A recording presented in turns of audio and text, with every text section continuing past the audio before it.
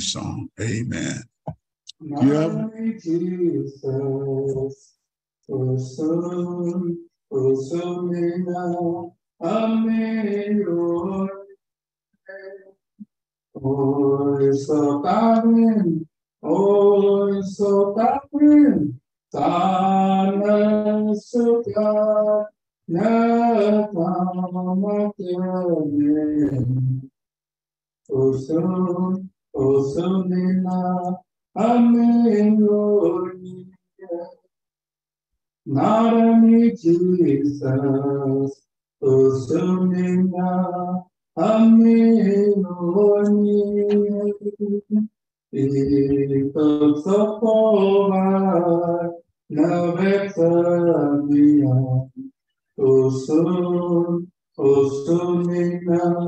Alleluia. Oh, so sovereign, oh, so sovereign, Son of God, Yahweh.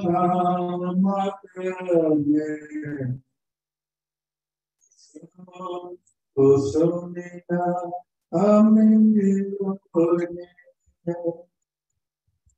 Amen. Amen. Thank you. Thank you for that. Okay. You got additional? Okay. Amen. Two songs, uh, smoke signals, hymns of preparation. Amen.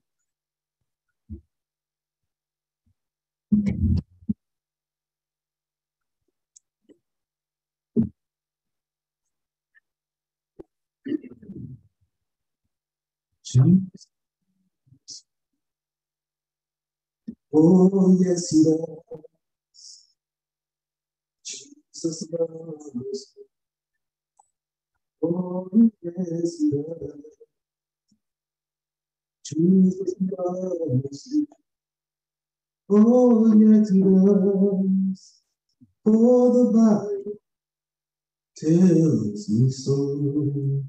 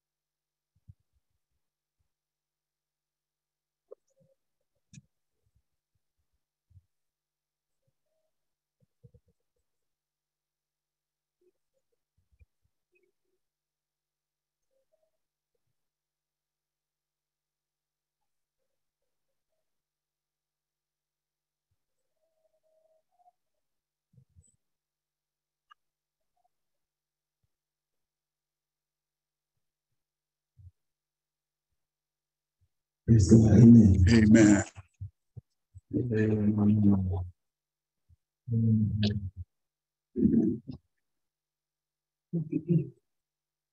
It's now time for our message from our Pastor Jackson. Amen. Let us pray. Thank you, O God, for you and your love, your grace, your mercy. Thank you for loving us first and continue to love us unconditionally. We thank you, O God, for the power of your word, the indwelling of your Holy Spirit, your presence here in this place and online, wherever we may be, you are there with us. You are here with us, and we are thankful. We pray, O God, that your word will continue to reign supreme in our hearts and in our minds, and that we may be a better people by following your commands, and that you would not only give us joy, but give us happiness as well. We're so thankful, oh God, for this time, and as we gather around your word, that you would hide me behind your dear cross, that we all may hear what you desire for all of us to hear, in spite of what I may do or say. In the name of Jesus, we pray, amen. Um, this morning, uh, we'd like to look at the lectionary New Testament passage of Scripture, which comes from Jesus's, uh, comes from Matthew, uh, the fifth chapter, verses one through eleven. We want to focus in on verse eight in particular. Um, this is Jesus's uh, Sermon on the Mount, part of it, the beginning of it, and Jesus uh, is uh, giving us ways that we can uh, be happy, be happy. And one of those Beatitudes uh, comes by way of Matthew, the fifth chapter, verse eight. And this is taken from the New International Version of our Bible. It reads thusly Blessed are the pure in her heart, for they will see God. Blessed are the pure in heart, for they will see God. And for a few more moments, uh, we want to share words around this thought for 2023. Mm, pure sighted, pure sighted. Say that with me. Pure sighted. And, and we want to see as God wants us to see clearly uh, that which is behind us, that is with us, that is before us, on how best to navigate this life uh, in peace and harmony, joy, happiness. Um, we, we want to do so. Uh, Oh, who is that? They listen to the game already? The game is on? Uh, okay. All right. All right. Uh, uh, it doesn't come on to 2.30, huh? What time? Three o'clock? Okay, comes on. Okay. All right. The Dallas Cowboys is not playing. Huh? Uh, uh, did we lose? Okay, yes, we did. Amen. I'm still a Cowboy fan. That's all right. I've got pure sight on what they need. they need less interceptions. I know that. Amen. Uh, I don't know what your uh, New Year's resolution or resolutions may be. Uh, how many, if you made resolutions, are you still kind of like, or have you forgotten about? Okay. All right. And, and many times we make resolutions of saying, this is what I want to do, uh, or cut out, or whatever it may be, uh, in order that 2023 may be better than 2022. Yeah, we want to see uh, clearly, as best we can, moving forward on how we can be all that God wants us to be in 2023 uh, as such. And hopefully that uh, would include seeing God more clearly. Mm-hmm. Uh, being able to see where God is leading us uh, on what to do, what to say, and even what to think.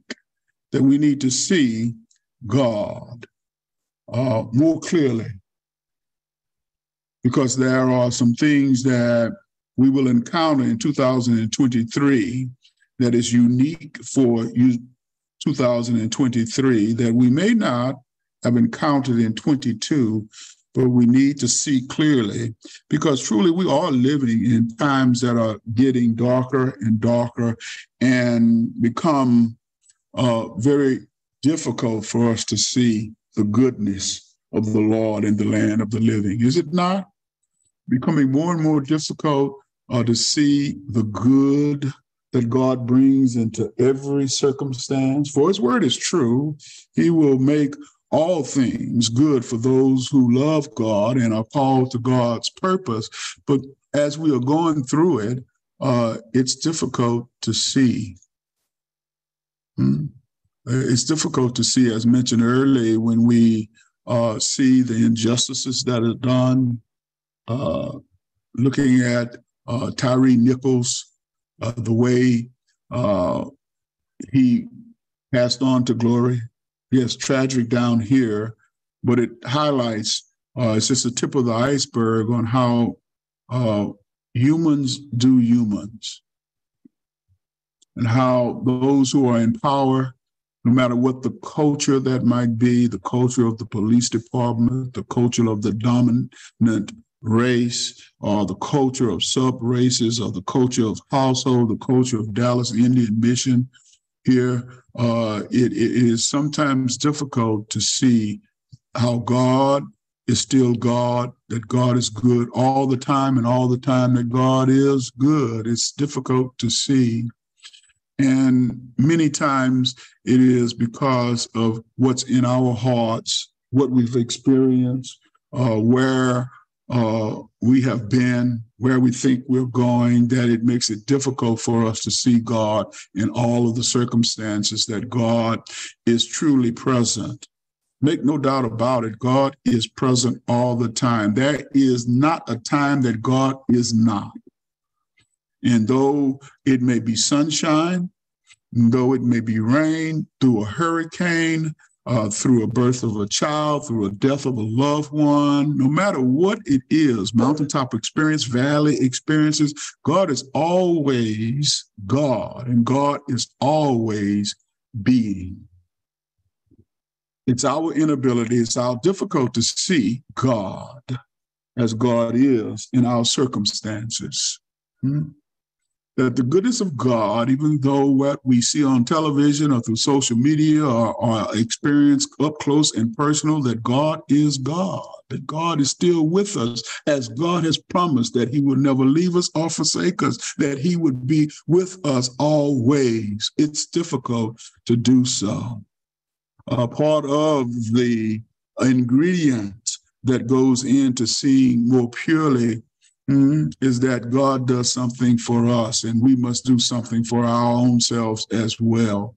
Mm, that our salvation requires that we participate in our own salvation, that God requires something of us in order for our hearts to be made pure.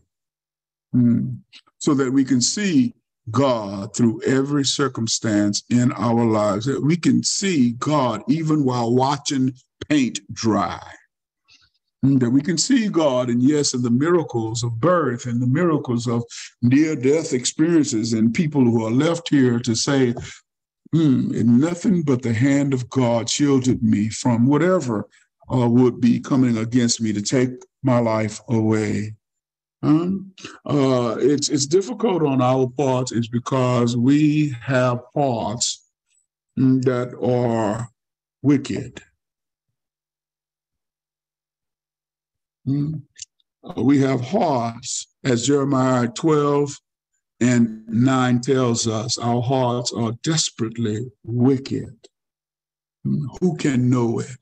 That's at the ninth verse. At the tenth verse, it says that God searches the hearts. God knows our hearts, how desperately wicked and deceiving our hearts can be, which will prevent us from seeing which way to go.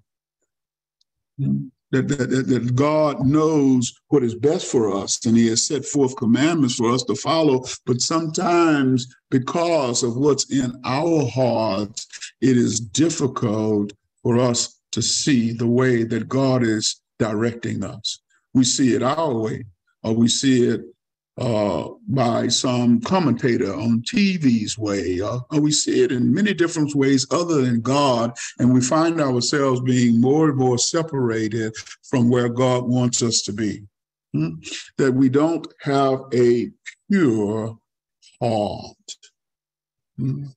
And Jesus on the Sermon on the Mount here is, is telling folk uh, that in order for us to see God, both in the hereafter and the right now, hmm, uh, then our hearts must be pure. Happy if we are seeing God from a point of being pure hearted, which would thus give us pure sight on the circumstances that we find ourselves in. And if we have a pure, more clear sight on our circumstances here and now, hmm uh, in the nasty now and now, we, we, we will tread the path of going on to glory hmm that God wants us to be as full, matured Christians.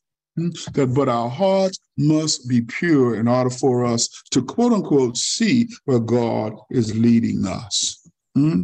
And and and if we want to be happy, sure, we could get with, oh, the joy will come in the morning. That's one of the fruit of the spirit is joy. Yes, joy is eternal. Uh, and, and, and yes, uh, joy is not circumstantial, but happiness is.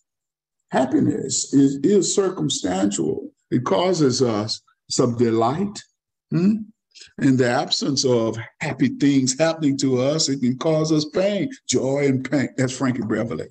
Uh, y'all don't know anything about it. Okay, but but but but there is uh, a need for us uh, to have happiness in the temporariness of life. In order for us to get through the day, even, we need some happiness in our lives. Yeah, joy is there.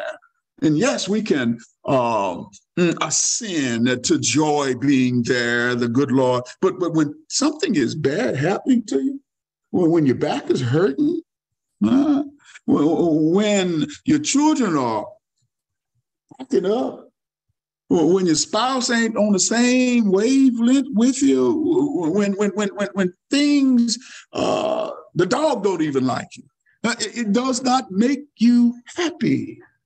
Huh? Uh, there's always some conflict going on. Uh, sometimes you're in conflict with yourself. Should I do this? Should I go to right? Should I go to left? No, I don't know. I'm just going to stay right here in the middle. There's always some conflict that makes us unhappy um, as such. And we need to guard against that because we are still temporary beings that are going through eternity. Hmm, eternity past, eternity now, eternity in the future.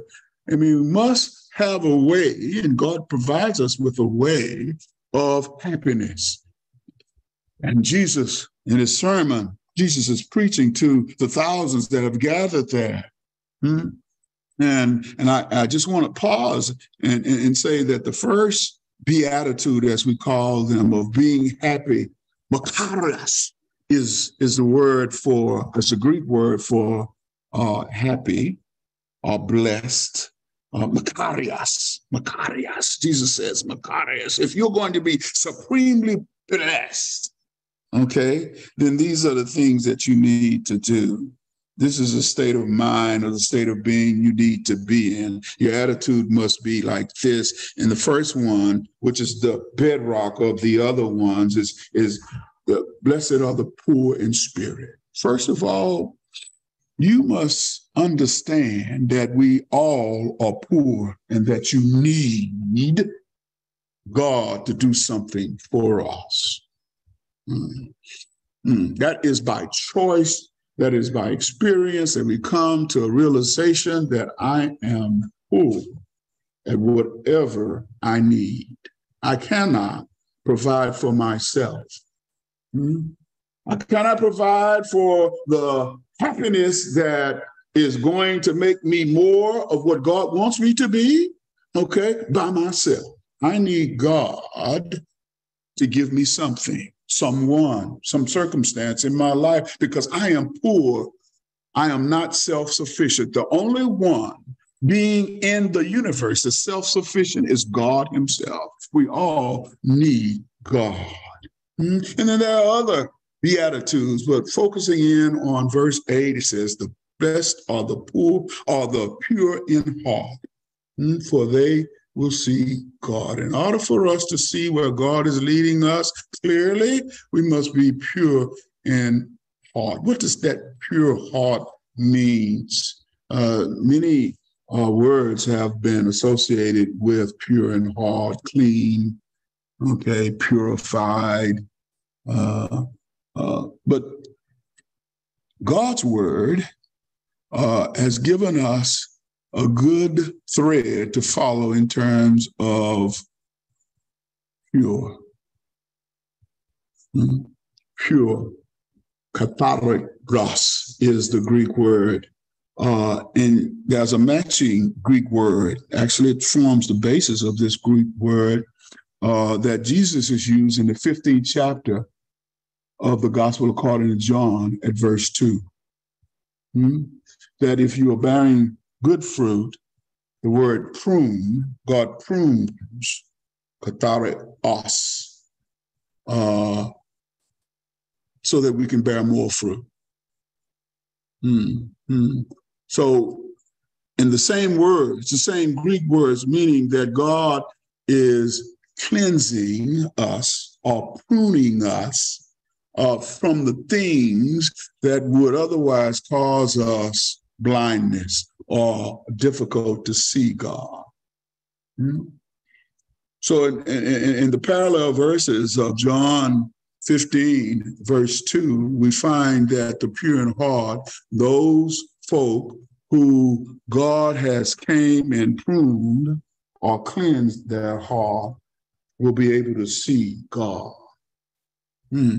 This pruning or this act of cleaning is uh, implies that there is some stuff in our heart that we need to get rid of that stand in the way of, of us seeing God as God and, and, and as circumstances that God allows and or calls in our lives as being a way of God, either training us, disciplining us, or giving us strength, or giving us a testimony. Hmm? That we can see God in all the circumstances of our lives, whether it's a good thing or whether it's a not so good thing in our lives, that God is cleansing us, pruning, pruning us, and it may be that the pruning process hurts us more than we care to be hurt. Uh, if we're going to bear much more fruit than God's responsibility, and God does this by cutting away those things so we can bear even greater fruit. That's God's word. It may be that God cuts out things and our people in our lives for 2023. The folk that you used to run around with in 2022 uh, hmm, may be needed to be cut out of your life in order for you to see God better in 2023. Huh? The people that you depended upon in 2022, 2023 uh, you may need to depend on someone else. That God is cutting that out of your life. The good health that you might had in 2022. So it works both ways. In 2023, that good health mm, of which you came to be so dependent upon mm, that you took for granted, And God needs to cut that out of your life a bit. So you can say, oh, hey, I need God because I'm poor in health. Hmm? Uh, those things that we uh, uh, hold fast to or practice in 2022, we don't need to do them in 2023. We need to cut it out. We need to cut out mm, gossiping. Hmm, maybe, maybe that's preventing us from, from, from seeing God. Huh? Uh, we need to uh, cut out uh, uh, talking about folk if it's not good. I was brought up uh, if you don't have anything good to say about somebody, then don't say anything at all. Maybe we need to cut out that talk of he say, she say stuff. Hmm? Uh, that that presumption of someone is is is doing us something, some hoodoo or voodoo. That, that all of that that that goes into uh, things that prevent us from having a pure heart, from seeing God as God really is. That is clouded. That we're looking through a lens that is tainted with unforgiveness now, I can't forgive somebody because she did something to me 25 years ago, and I will always remember. I will always hold that against that person. I can't forgive myself because I messed up big time last week. Hmm? And I'm just holding on to that. So, therefore, I can't see God clearly today and how God is leading me. Hmm? And God, if we only let God, will prune us from that, will cleanse us from that. We're, doing a surgical, spiritual surgery on our hearts so that we can take out that which is giving us a a clouded view of where God is leading us. Well, we did this for ages and we did it last year this time. Maybe God is wanting that to be cut out this year so you can do some new stuff this year. Mm-hmm. Blessed are the persons who are pure in heart, whom have given their heart to God to cleanse so that we can see God clearly, that we can be pure sighted in 2023 as more than what we could do, ever could do, because we are so blinded in 2022. We, we, we need to do better in 2023. We can't rely upon what we did in 2022. Maybe resting on our laurels is something that need to cut be cut out of our lives. That every day we need to have a fresh start. Every day we need to love our neighbor as ourselves. Every day we need to forgive. This is a new day, and we need to present ourselves as living sacrifices before Holy God that we may worship God, which is our true way of serving God and serving each other. Maybe we need to pray more for others. Maybe we need to cut out TV time or social media time. Maybe we need to cut that out so we can see God more clearly, that we can cut off the noise of this world. And we need to carve out some ways on how we can walk with God and talk with God. Hmm? And listen to God instead of complaining to God that God, this ain't right and that ain't right. You know, that's an oxymoron in that it's a, com- uh, a complaining Christian. Hmm? That, that we spend a whole lot of time Hmm, and, and, that's something that we need to cut out. God needs to prune us from complaining. God, why didn't you do it this way? Why it ain't that way? Why I don't have this? All of this stuff is going on. Oh, my toe hurt. My hat. Well, I don't have too much hair. It's just something that we need to cut out, and be cut out of our lives so we can see God, whom God really is in our lives, that God is good all the time that God is our Father and God is responsible for all of us as God's children, and there is no circumstance a Christian's life that things go on in our lives because it is allowed by heaven. John the Baptist had it good and the third chapter, verse 27 of the Gospel of John. It says, hmm, a person cannot receive anything unless it's allowed by heaven. Yes, some bad things happen to me. God has allowed or caused it in my life. Can you say that? Do you have the faith in it that a loving God would let such a bad thing happen to me? That's probably because your heart is not pure enough to see that God works even in hell itself Hmm, sure, we like to keep Christ pristine. We like to say Christ is here in the church. Huh? But Christ is in the clubs too. That's right, the club. Christ is in wherever people are. Christ is there. Hmm? And those people over there on the other side, those people in the ghetto, those people in the white, whatever it may be, Christ is there. Hmm, we want to keep Christ clean, but Christ is everywhere. Hmm? That, that, that our hearts may be pure enough to see that God is over there just like God is right here. That God is in Africa just like God is right here. That God is in Ukraine just like God is here. God is in Russia just like here. That God is in the whole houses just like God is. Oh, I said whole house. Yes, I did. Where God is, hmm, there's an opportunity for deliverance. Hmm? God is on your job. You need to see that God is on your job. God is in that person whom you can't stand. Hmm, you need to see that person as being made in the image of God. huh? And that you can see God in everything, in every person. The person, yeah, you was but that's God is in that person.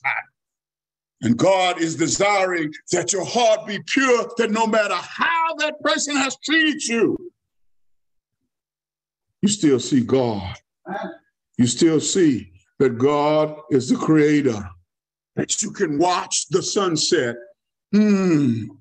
that you can watch the eagle, that you can pick up a rock and see God.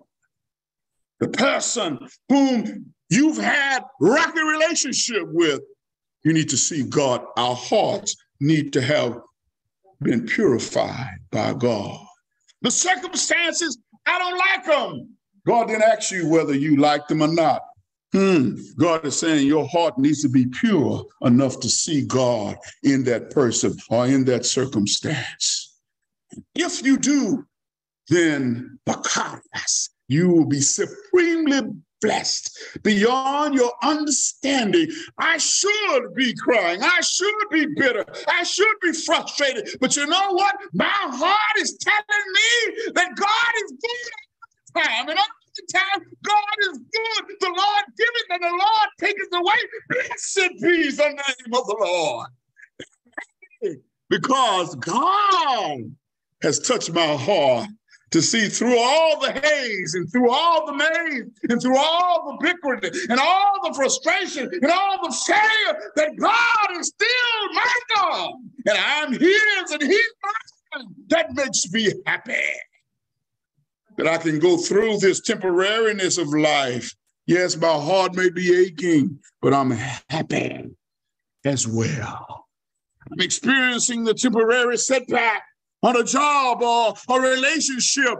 I can see God working it out for me because my heart been made pure by what God is doing in my heart so that I may see God. I may see God through thick and thin. I can see God. Yes, the psalmist says, if I take and go up to heaven, God is there. I can see God. Hmm. Psalmist says, if I take the wings of the morning and fly to the othermost parts of the sea, God is still there. I can see God. And yes, even if I make my bed in hell, God is there. His dominion is there. I can see God through all my mistakes, all my addictions, all of my failures, I can see God right there. And when we can see God with a pure heart, happy we shall be. Amen and amen. Let us stand and let's open our hearts for God to open our eyes in our hearts so that we may see where God is leading us. Open our eyes. The door of church open. You may come join us who are praying to God that our hearts would be open pure to see God. Lift it up. Let me hear you. Where God wants us to be.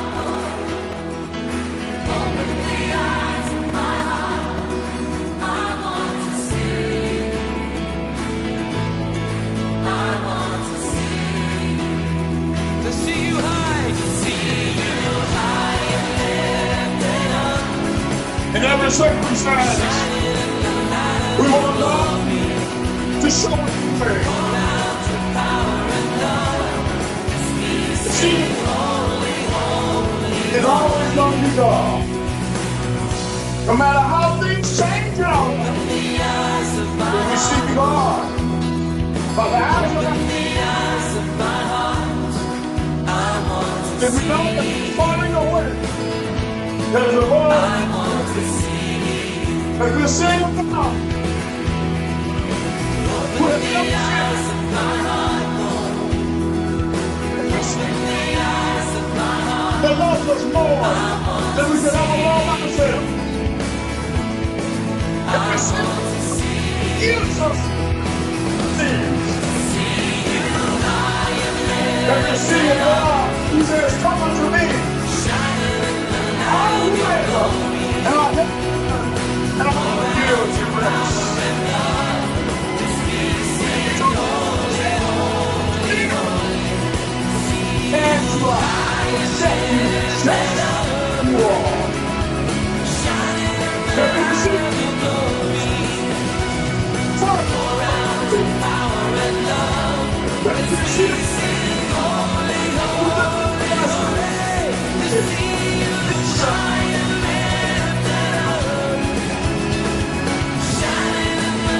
me conceal love.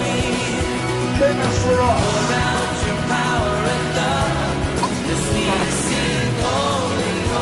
With our hearts, eyes are open. Holy. Holy. We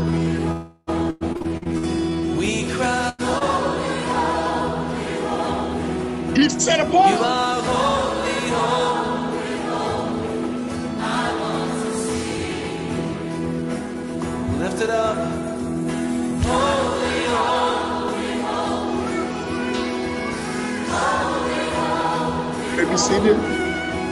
you are holy, holy. I want to see.